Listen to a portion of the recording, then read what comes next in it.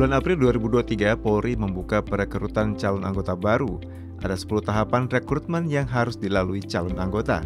Mulai dari pendaftaran, fakta integritas, rikmin awal, rekes tahap 1, tes psikologi, hingga sidang akhir.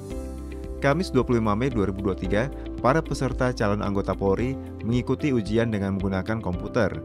Ujian ini disiarkan langsung melalui Instagram Divisi Humas Polri sebagai langkah pencegahan dan menutup celah terhadap oknum yang mengambil keuntungan.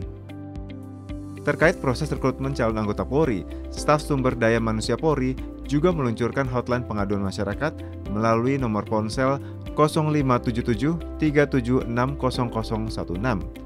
Nomor ini tersambung langsung dengan aplikasi WhatsApp SSDM Polri.